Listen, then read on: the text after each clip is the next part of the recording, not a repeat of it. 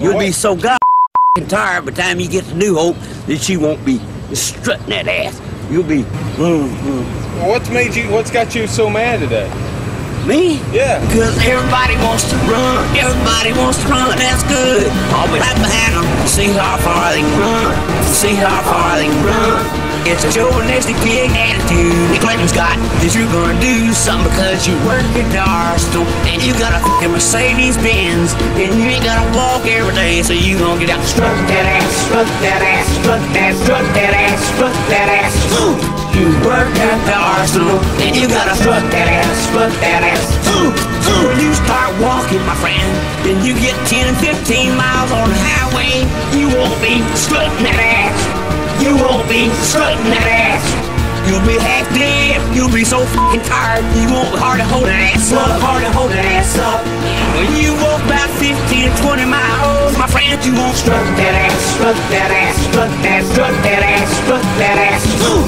You work at the arsenal, and you gotta strut that ass. Strut that ass. Ooh. Strut that ass. Strut that ass. Strut that. Strut that ass. Strut that ass. Ooh. You work at the arsenal, and you gotta strut that ass, strut that ass. Ooh. Just me, or does he sound a lot like Lil Wayne? Thank you, Fat Nipple One. I feel validated. I can't figure out why he's so mad, but we've all been in that position before. So angry that we, we just blow up at somebody and then start dancing and rapping willy-nilly. So that song goes out to all the angry people out there.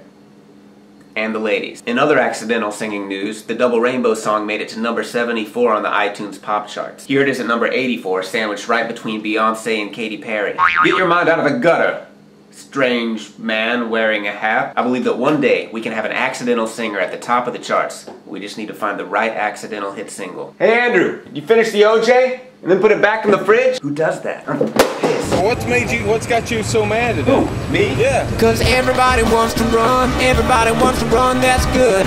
I'll be right behind them to see how far they can run, to see how far they can run. It's a chauvinistic big attitude that Clinton's got, that you're gonna do something because you work at the arsenal.